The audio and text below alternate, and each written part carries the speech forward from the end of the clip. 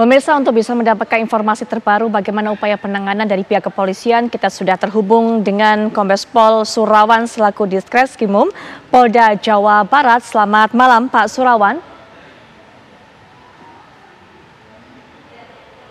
Pak Surawan bisa mendengar suara saya?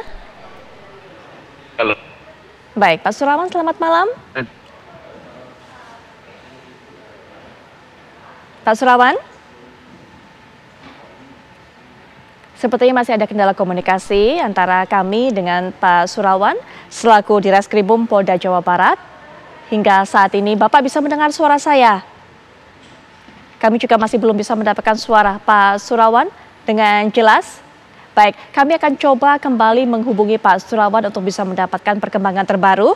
Kita akan kembali berbincang atau lanjutkan perbincangan dan sepertinya juga Prof. Adrianus Meliala sudah bergabung kembali dengan kami. Prof. Adrianus sudah bisa bergabung kembali ya, Prof.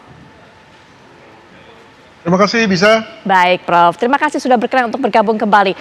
Kita akan kembali ke Pak Ito. Pak Ito, kita sudah mengetahui bahwa ada kejanggalan juga dari rangkaian kasus ini bahwa para pelaku ini delapan orang yang sudah ditangkap dan juga dijatuhkan vonis ini kemudian mencabut keterangannya. Sebenarnya apa Pak kemungkinan-kemungkinan yang terjadi? Karena memang banyak sekali beredar informasi ter, termasuk juga ada upaya dari pihak kuasa hukum para pelaku ini yang melakukan penekanan, kemudian juga ada pengaruhnya sehingga kemudian mereka mencabut semua keterangan termasuk juga mencabut keterangan keterlibatan tiga pelaku yang saat ini masih dalam pencarian. Pak Ito.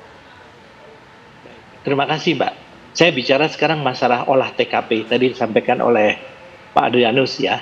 Bahwa memang olah TKP yang dilakukan saat ini menurut saya itu adalah sudah sesuai dengan eh, apa yang diharapkan. Ini terbukti dengan diterimanya tuntutan jaksa untuk menjatuhkan hukuman maksimal oleh hakim ya terhadap para pelaku. Berarti kan olah TKP-nya itu sudah bisa memenuhi alat bukti.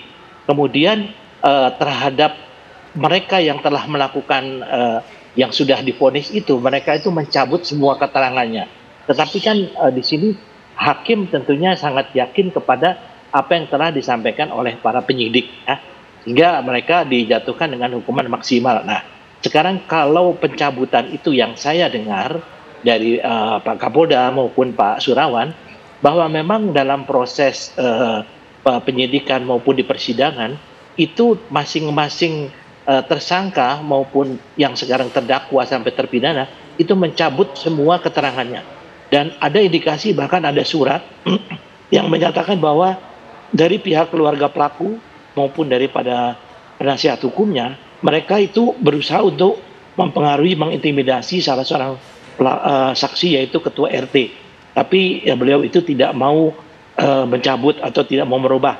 Yaitu bergeming dengan apa yang sudah disampaikan jadi boleh-boleh saja kalau mencabut, tetapi kan tentunya ini uh, yang dipakai oleh uh, hakim di sini maupun penuntut umum adalah hasil daripada olah TKP daripada para penyidik. Jadi menurut saya untuk kasus 8 orang ini tentunya penyidik sudah uh, secara optimal melakukan uh, ke, uh, tindakannya ya, atau kegiatannya. Hanya memang kembali kepada masalah tiga orang pelaku. Yang pertanyaan saya kan kalau memang yang bersangkutan itu memang di, uh, disebutkan sebagai ikut serta bersama-sama atau bahkan sebagai otaknya, tentunya nanti akan menjadi uh, tugas daripada para penyidik untuk bagaimana membuktikan ya alat bukti apa yang bisa dikenakan kepada yang bersangkutan agar kalau mereka tertangkap betul-betul mereka dapat dihukum sesuai dengan perbuatan yang dilakukan. Mungkin itu dari saya, Pak. Baik, Pak Ito, kalau tadi Pak Ito sudah menjelaskan hmm. ada upaya tekanan dari pihak kuasa hukum para pelaku, keluarga para pelaku juga, termasuk intimidasi ke para saksi, berarti juga terbuka kemungkinan ada hal-hal seperti ini dilakukan, sehingga kemudian pihak kepolisian tidak melakukan pengejaran selama 8 tahun ini, sampai akhirnya kemudian menjadi viral, baru polisi kembali bergerak. Begitu, Pak Ito? Saya kira mungkin kalau uh, masalah itu saya tidak bisa menyampaikan, Pak, karena ini kan waktunya lama dan menurut saya ya, menurut saya memang ada sesuatu yang perlu mendapatkan uh, kajian secara internal. Mengapa ini terjadi? Tentu ada hal-hal yang harus didalami oleh pihak internal, baik dari Propam maupun dari uh, Karowas Sidik ya, dari Baris Krim Polri. Saya kira mungkin ini sekarang uh, ada dua hal yang sedang dilakukan di dalam. Yang pertama adalah bagaimana menuntaskan kasus dengan uh, berusaha menangkap dari para orang-orang yang diduga ya sebagai pelaku yang melarikan diri itu.